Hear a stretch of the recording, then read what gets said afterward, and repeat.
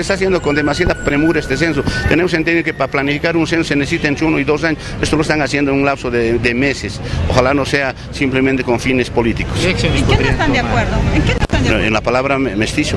O sea, no está incluyéndose dentro de la boleta censal. En la boleta 2001 tampoco incluye. No, ah, pero ha habido unas formas de tomar en cuenta eh, esos niveles de participación de la población, ¿ya? Ahora, eh, si, si ha habido un error en el 2001, no puede ser que ese er- error se repita y que se sirva de jurisprudencia un error anterior, ¿no? Aquí se tiene que contemplar al hueso de la población, si no estamos discriminando directamente. Entonces no van a participar. No, no, vamos a ver qué presentamos. Vamos a sugerir primero al gobierno que contemple esta situación, pero que es- esperemos que se rectifique en algún punto.